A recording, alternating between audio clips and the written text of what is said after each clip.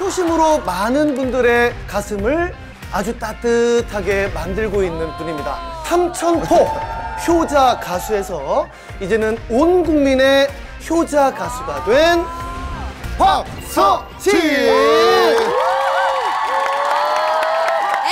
나와?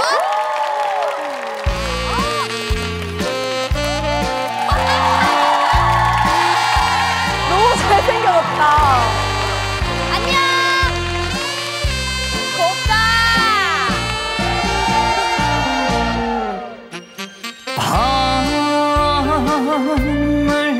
새워진 이른 날도 별을 두고 가는데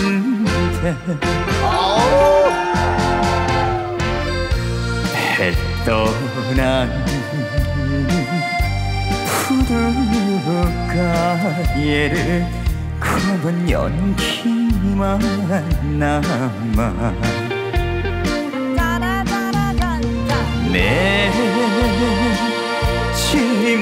한 사연 두고 떠난 사람을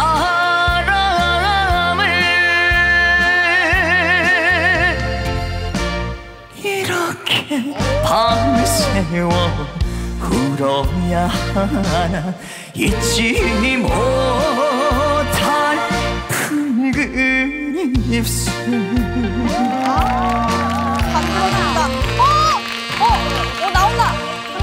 준비하는데? 어머, 어머,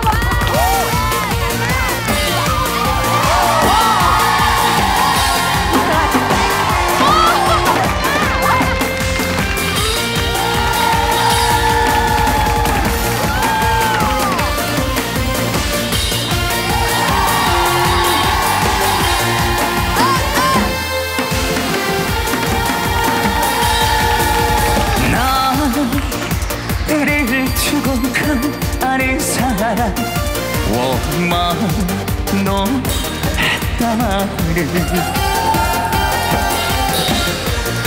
이렇게 가까이서 처음 봐요. 진짜. 신기하지? 기에 웃으며 보냈지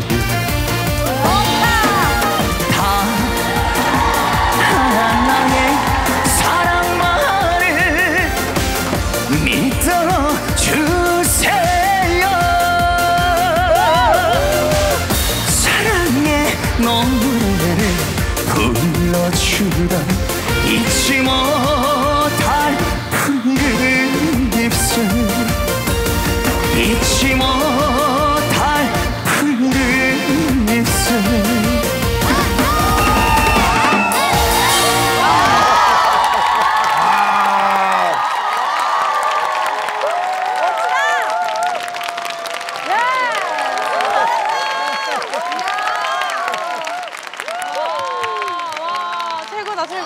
와.